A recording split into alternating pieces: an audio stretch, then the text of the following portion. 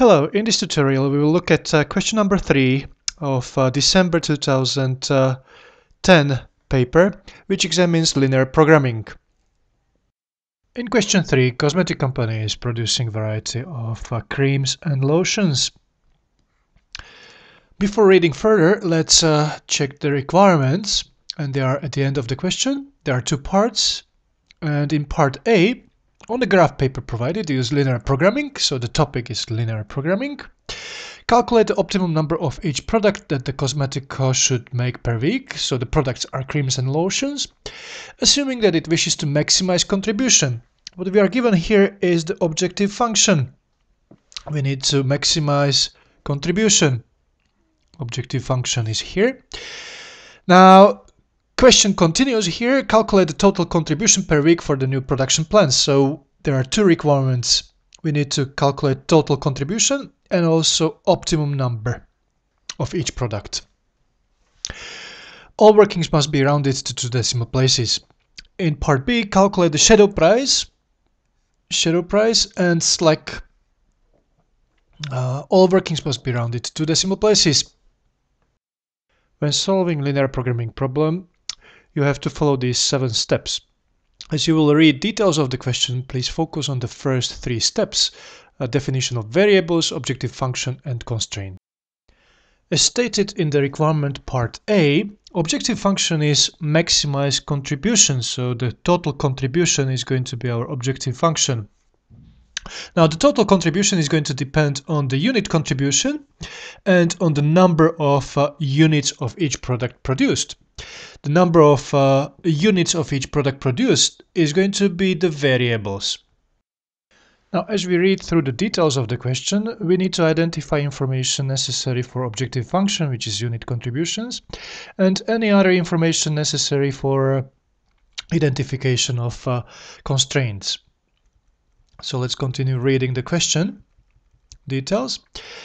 So cosmetic creams and lotions, those will be my variables.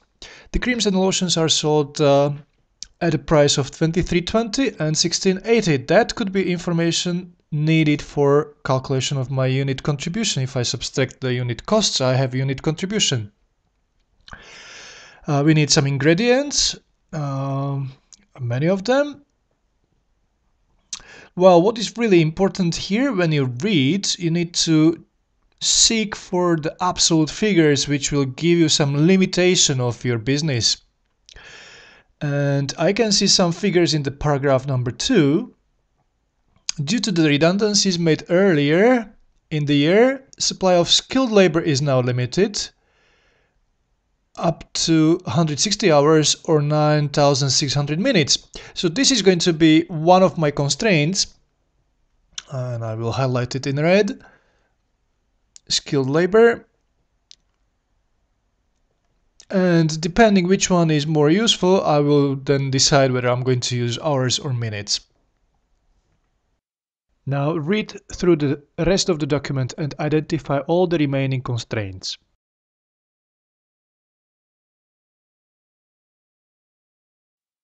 There are three more constraints in the text and the first one is uh, related to grams of silk powder, which is limited to uh, 5000. And next one is 1600 grams of amino acids. And the last constraint is below the cost card and it talks about maximum demand for lotions, which is 2000 bottles. Information in the cost card could be used to calculate the unit uh, contribution. However, as I can see, unit contribution is given. It's $9 per unit of uh, cream and 8 for lotions. So we don't need to calculate that. In addition, we have some information about fixed costs which is really irrelevant information because that has no impact on your contribution. In your answer sheet, identify the question and question part. And let's summarize uh, our information. Uh, let's define the problem first. So we know there is going to be some variables. there is going to be objective function and there are going to be some constraints. Let's start with variables. As you remember, there are two variables, which is quantity of creams and lotions. So uh, let's call them C and L. Next is objective function, which has to be maximize contribution.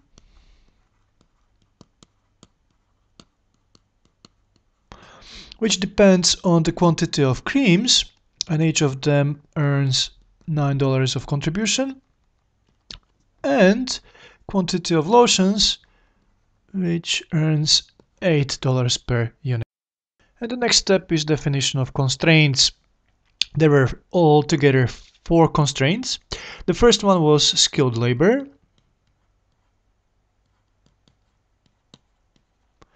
The next one was on uh, powder. Next one was silk acid. And the last one was related to uh, lotion demand.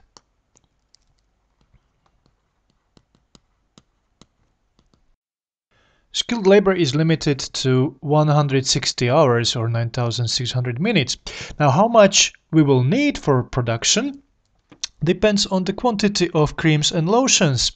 And not just that, it also depends on uh, how much is needed uh, for production of one cream of uh, skilled labor. Skilled labor is here and we need 4 minutes. Oh, that tells me that uh, I should use as a limiting number 9600 minutes. So let's summarize that in our answer sheet here, we know that the skilled labor is limited to 9600 minutes and what I need is uh, 4 minutes to produce C and 5 minutes to produce 1 unit of L and this has to be lower than is available. Now try to summarize uh, all the remaining constraints.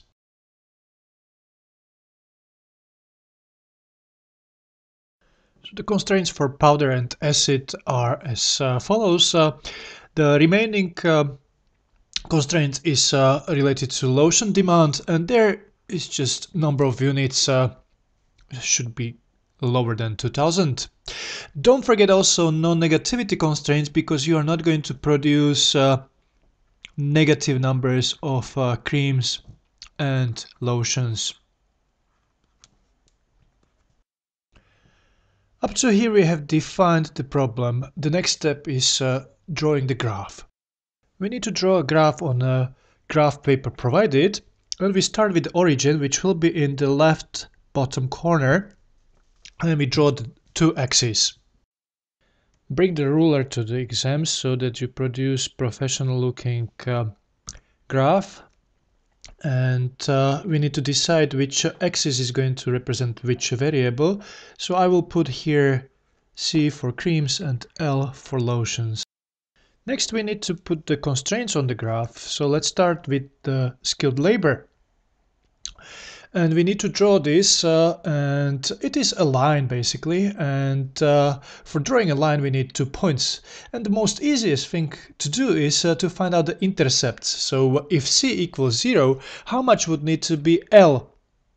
For that uh, l would have to equal 9600 divided by uh, uh, 5 and that equals 1920 So we have calculated intercept with uh, c-axis. In the similar way, we can calculate intercept uh, with l-axis. That means if l equals 0, how much is c? Well, it's going to be 9600 divided by 4, which gives you 2400. And you can calculate in a similar way intercept uh, with uh, two axes uh, for the remaining constraints, so try to do it for powder and acid.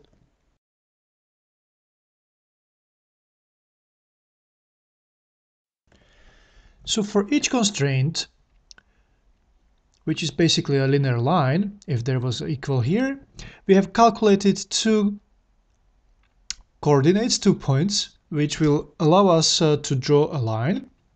And now we need to go to the graph and uh, put these points on the graph. Uh, for that we need to put uh, a measure on the graph. Uh, so we need to see what are the maximum values uh, and I can see that C, maximum C is 2400, maximum L is uh, 3200.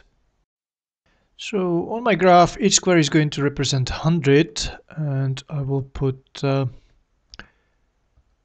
here will be 1000, 2000, 3000, 1000, 2000, 3000 and I need to put uh, the first intercept with C is going to be at 2400 and uh, intercept with L axis is going to be at 1920 and I will try to connect these two points uh, try to do it as exact as possible almost like me. Now in the similar way we can uh, put the line for powder and we need to put these two coordinates on the graph. So let's uh, see. 1666 should be the C intercept and 2500 intercept with L. Uh, let's connect these two points and we have a line. And this is for powder.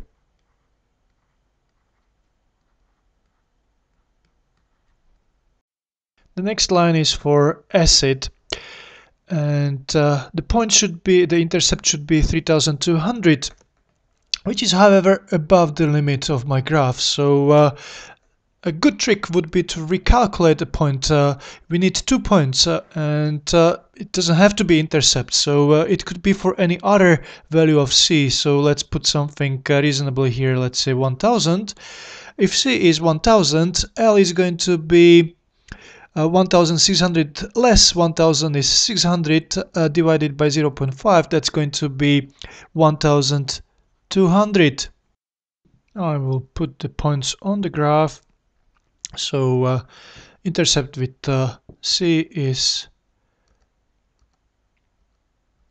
1600 then we have this new point which is at 1000 of C and uh, L is 1200 and let's connect these two points. And we have a line which uh, represents acid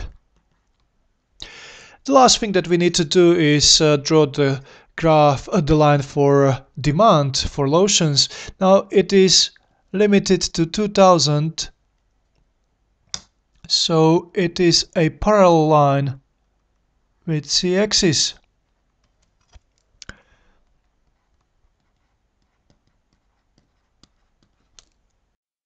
Demand should be lower than 2000, so it's all these points below this line. Same can be said about acid, which should be below the green line. Uh, same for powder, below the orange line. And same for labor, below the red line. And uh, what we know about creams and lotions is that we are going to produce positive amounts. So they will be in this feasible area. So feasible area is this shaded rectangle. Let's put some uh, letters for the intercepts here. That's how we define it. Uh, and within this rectangle, we will find our optimum solution for our creams and uh, lotion quantities. We can determine the optimum point by drawing the objective function into the graph.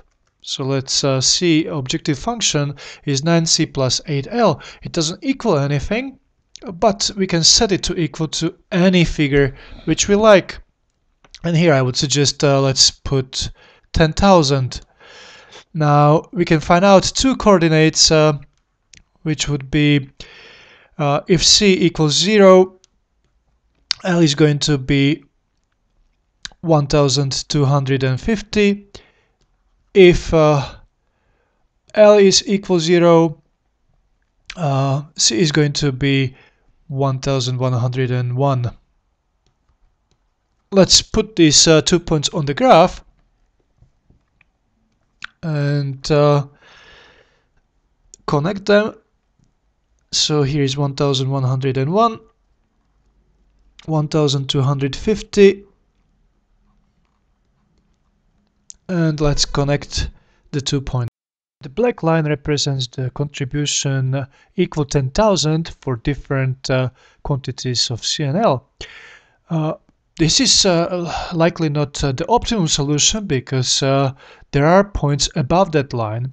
So uh, we could try to find some other higher value of contribution. And let's say if you calculate contribution equal 17,000, you will get new points. So uh, 17,000 uh, divided by uh, uh, divided by 9 you get uh, 1808 that is going to be intercept with C and 17,000 divided by 8 you get 2125 if you connect the two points you get a line which shows contribution 17,000 now this is still below point B uh, but you could see that uh, point A and C are below this line. So uh, optimum solution is going to be in our point B. That is the optimum solution. So how do we find the point B? Well, it is intercept of this orange line, uh, which is a constraint for powder, and this red line, which is a constraint for labor. If we go back to our constraints definition, we can find the point by looking at these uh, two constraints and uh, solving uh, two equations uh, with two unknowns. So we need to copy these two and make them as equations. 4c plus 5l equals 9600 and 3c plus 2L equals 5000. If we multiply the first equation by 3, we get 12C plus 15L, which equals uh, 28,800. And if we multiply second by 4, we get 12C plus 8L equals 20,000. Now if we subtract the second